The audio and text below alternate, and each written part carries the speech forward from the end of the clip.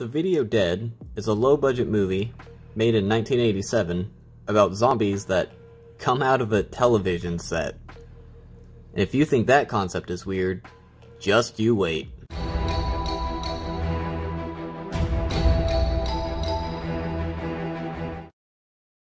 It opens with Mr. Jordan getting a mysterious package, and why does he have a dead fish just sitting in a bowl?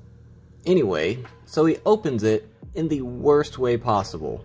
Seriously, I could think of about a hundred better ways to open it than this. And it's a TV! So, I guess the Cubs won the 1984 World Series in this universe? But the TV turns on, and he turns it off, and it just immediately turns itself back on, so he decides he's just gonna unplug it and go to bed. I would have smashed that thing. So TV turns back on, and the zombies start coming out of the TV. This is such a weird concept for a movie, but at least it's creative. But it turns out, this delivery company sucks, and sent the package to the wrong place. So, where was it supposed to go? Institute for the Studies of the Occult. How do you mix that up? But I'm sure it'll be fine. I mean, Mr. Jordan's just dead.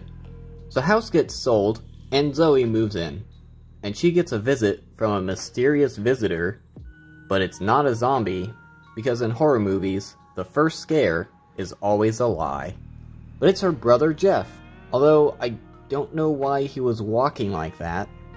This Texas guy, from Texas, comes to pick up the package the previous guys delivered, which brings up the question of why haven't they picked it up in the past three months? But Jeff blows him off and gives the worst excuse I have ever heard to get rid of someone. I forgot to brush my teeth, so I gotta go. But later on, Jeff hears a voice upstairs and finds the TV and decides to bring it into his room. Oh, are mirrors important in this movie? This is April and her dog, who runs off, and April tries to find him for the weirdest reason ever. He likes to chase skunks in the woods, and when he finds them, he tries to mate with them. Only skunks don't like to mate with poodles, so they spray him, and then he really gets turned on. what? What kind of logic is this movie following? This movie has some of the most awkward dialogue. So, they find the dog dead, even though he's clearly breathing and moving, but you want to know what a good excuse for how this dog died would be? The dog swallowed a ball. All we have to do is push the ball down the dog's throat. Not that. But they do this psychotic plan because they're psychos. But that night, Jeff is watching TV and not doing anything else. This woman comes out of TV and we're gonna have to skip that. But after she goes back, some guy from the TV tells him to tie a mirror facing the screen and put it in the basement.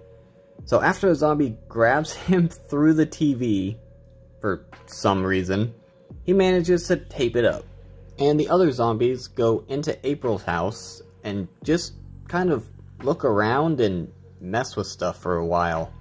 I'm not sure why, but okay.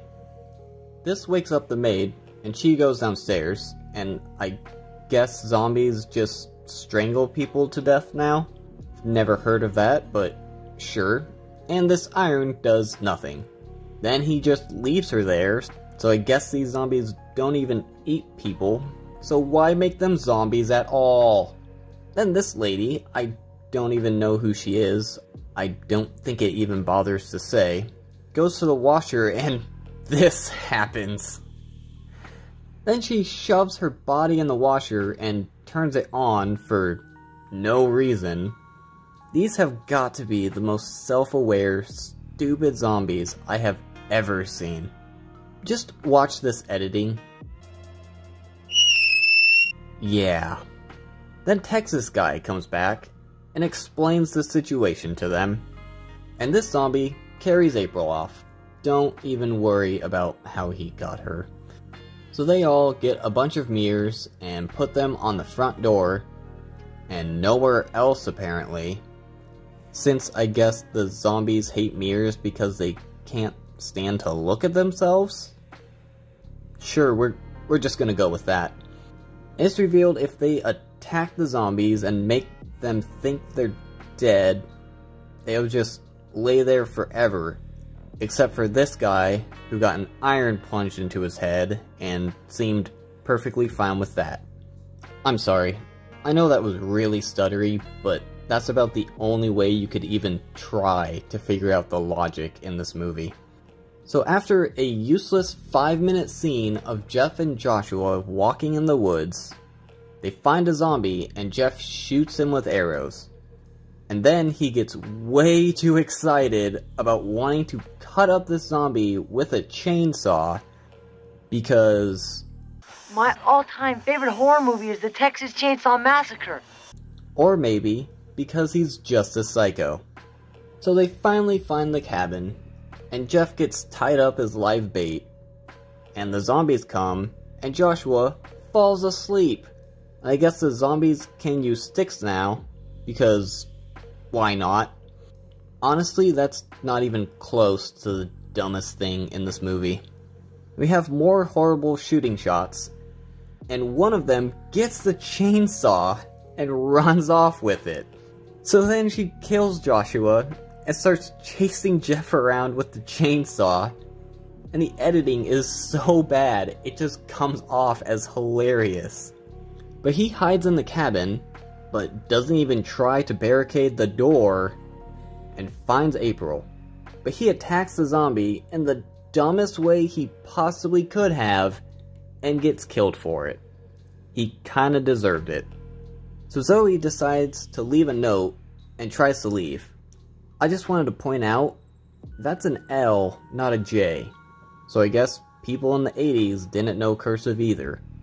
But she sees that the zombies are coming, and decides to stay in the house, even though she could have easily just ran around all of them. I mean, they're really slow, and she had a lot of room. But then again, she's already shown that she's not very smart. Why is this part necessary? Zoe decides to try to not show fear since I guess if you don't show fear, the zombies think that you think they're alive. Yeah. Invites them in and makes them some food. And does this stupid laughing thing the entire time. But then she leads them to the basement to do some dancing, and when she tries to leave, she trips over nothing, but manages to lock them down there. Then they go back into the TV, I guess, and Zoe goes to a mental hospital. And then her parents visit and bring her a TV they found at the house. So that's cool. So yeah, this is basically just your average low budget movie. The acting is pretty bad, although it seems like this is the only acting credit for most of the main cast. The dialogue is just strange and awkward, but at least it's a different take on the zombie genre. Don't forget to do the YouTube stuff, and thanks for watching.